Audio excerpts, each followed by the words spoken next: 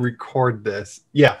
So um, basically, the idea for this service is is what we did for um, two services last month, which is just talk to people and, and ask the same the same four questions, and then take the the conversations and turn them into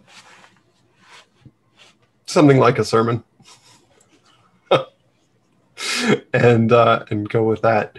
Um, so this week, uh, I've got a very um, sort of somber. It's been a year sermon, but right. but then the the following week, I think we're gonna just kind of loosen up and say, all right, so you know, what did we learn? What's this experience actually been like? Like aside from the like weight of it having been a year, what was it actually right. like? What what might it actually be?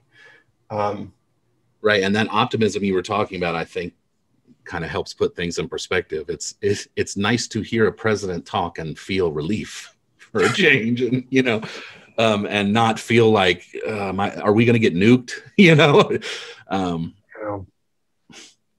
yeah. I, I missed his speech last night because i was doing vespers and, and so i was watching it this morning kind of in the background and he's just talking and then and then there's a line at about 11 minutes 45 seconds of like the cdc is working on new guidelines for places of worship. And it went on for another 20 seconds and i went wait wait wait hang on. Right. We pause that back it up. Where's yeah. the transcript? Did he actually say that?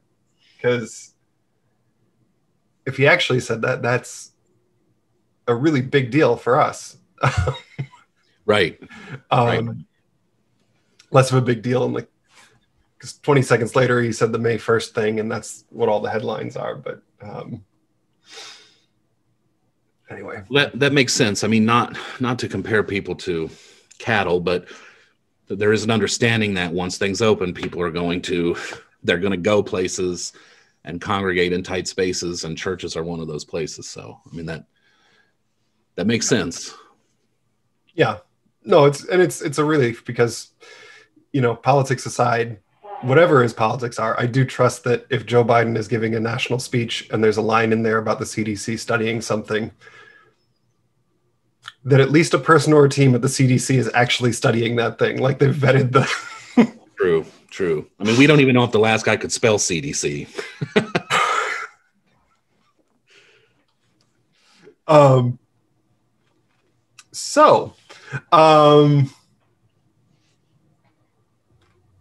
on that note, um, yeah, as, we can get all this out. Yeah, yeah, yeah. Um, as we're as we're thinking about um, the the year that we've had, is there a moment um, from from the last year at the at the church for you that represents what this experience has been like? Yeah, I've been thinking about this a, a little bit. We we had a um, uh, an event around the 150th where we got together in groups over Zoom and different people spoke and different members of the staff kind of helped host. Um, and there were some crossed wires. There was some miscommunication about breakout rooms and things like that. And um, my point is, it wasn't smooth sailing. But regardless of that fact, we were able to uh, get things smoothed out, have the conversation that we were meant to have uh, and things went smoothly from there. And I think that's a really good microcosm of the entire year in that nothing has been perfect, but everything has achieved what we set out to achieve. Um, it it may have been a bumpy ride, but we did get information out to people. We did have services. We did have music. We did have conversations. And so, uh, I, for me, I think that's that's the event that kind of it gave me a lot more hope for how the year was going to to progress. If we had to keep staying online people were really adaptable. And that was back in september i think. Yeah yeah. Um so what's a place that we've fallen short in the last year? I think this is a difficult one because I think that you can say something is successful and also that you've fallen short doing it. And I, I think for me that is that has to do with accessibility. Mm-hmm. Um, making sure that everyone has access to a computer or a telephone or the internet speed to be able to stream the services. Um, early on, that was a lot more difficult and it's gotten a lot better. And I think we have been successful at communicating with folks. Um, but in a situation like this, you know, anyone who's left outside the circle, that's then we've fallen short. Mm-hmm. So it's it's kind of one of those. We're doing well, but it, we always need to be uh, addressing it. Yeah, yeah, we talked about that at um, Worship Associates last night. Of you know how we think about the the folks who have not been able to access our online stuff you know on on one hand that's a place where we've we've failed. Um, and that's intimately tied up with we can't gather in person. Um, and so if you sort of take that piece off the table then it is an act of god and it's an act of god that has consequences that, right. that have been really hard. What's a what's a success we've had as a church in the last year? I if I was going to say uh, on on a really technical level, I think we've gotten really really good at this online thing. We've gotten very streamlined in putting it together and saying, you know, what is the format of the service? What are the hymns going to be? Who's going to do this part? Who's going to do that part? We've managed to incorporate a lot of extras, uh, the 150th stuff. Um, it, it's early on it was kind of formulaic and, it, and it's become a lot more like a real sunday service where if something comes up on a friday it's not an emergency to to put that in for sunday. So the adaptability i think has been been really really successful in in getting everything we need to get out out there to people in a way that's pleasing to look at. You know it, every service could be 10 youtube videos you know, here's the intro, click on the next one, here's the hymn. And I think we've done a really good job of making it palatable for people who would much rather be in the building. Right. So this last question is is really sort of the the pivot that we're in right now, which is we've we've learned a lot over the last year and we've had hard moments in the last year, but what what do you see as opportunities emerging from this experience that we've had um, going forward? For me, um, especially in the music area, I think we have a lot more opportunities now for content creation because that's essentially what we've been doing for the last year. Since we're not in the building, we have to make everything. No one can come here and get it anymore. And so I think the opportunities to expand on that are pretty vast. I mean, we've talked about doing podcasts, um, A Street is recording things, albeit pretty slowly, but we have sort of tested the the boundaries of our capabilities in terms of technology, in terms of putting out content, in terms of you know finding the the resources and the people to to do these things successfully.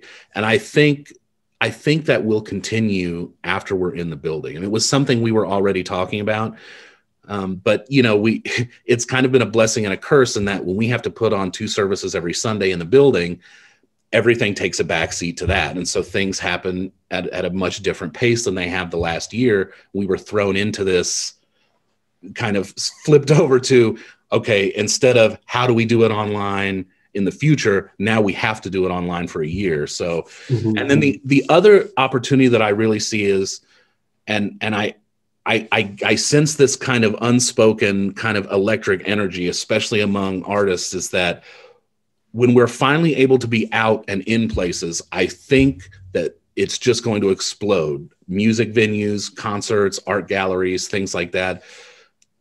It's kind of that situation you don't know what you've got until it's gone. Mm-hmm. And I mm-hmm. think people are going to be out and doing things. And, and as part of our mission to become more of a center of culture in the community, I think we can really take advantage of that. That is an exciting thought.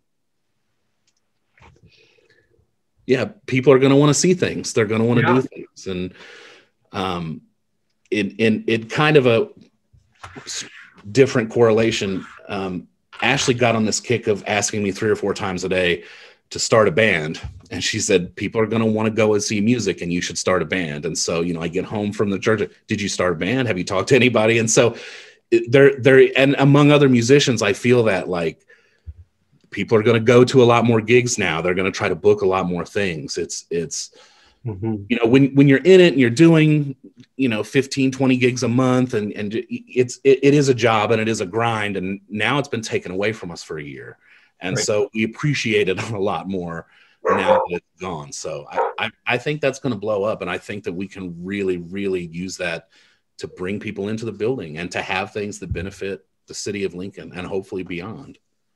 Yeah. That's great. that'll be fun, that'll be great for the, the service as well.